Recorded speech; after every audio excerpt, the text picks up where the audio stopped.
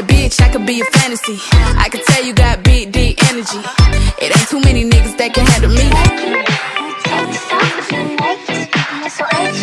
Hey?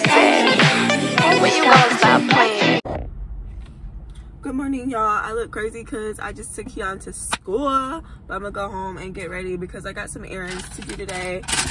For breakfast, we went to Wendy's and I got their Frosty-ccino. It's not great. It's not good at all. It tastes, no, it's just a no. But whatever. And Camila is back there. We just took Keon to school, so I got her some French toast for the ride. Hey, mommy. There you go. Yeah, I had to put some money in the bank. Um, to pay something, and then um, my kid, my kid is having his first field trip,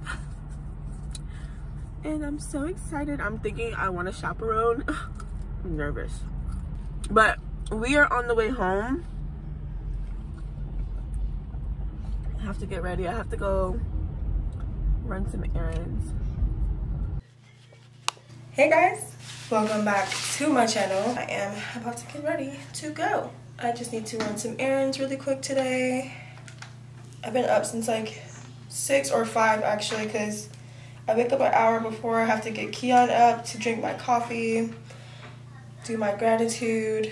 So um, I was like really like into like the bangs like I really just wanted some bangs to be honest. I need to get some more edge control. So that's what we're doing. We getting ready or whatever.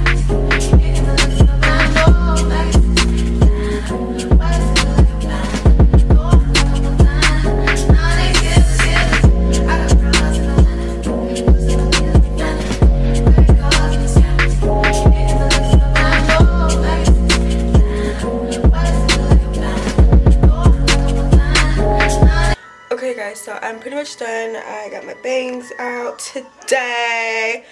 Something simple, but something really cute. I just have on really simple clothes. So I'm gonna do these errands, come right back to this house, and then finish putting up laundry and organize here. And then I don't know what time I'll get done. I have some computer work I need to do. So I need to come back and just get this done first because I need my plates for my car. And yes, uh, loving the bangs, honest. I can't wait to dye my hair. It's gonna be so cute. Oh my gosh. Update. I am at the car place now. About to get the stuff that I need if they have it here. I'm just trying to see what's going on. So, yep, I am at this place. She is still sleeping. I put her this way so I can see her because her brother's not in the car and usually he is back there with her.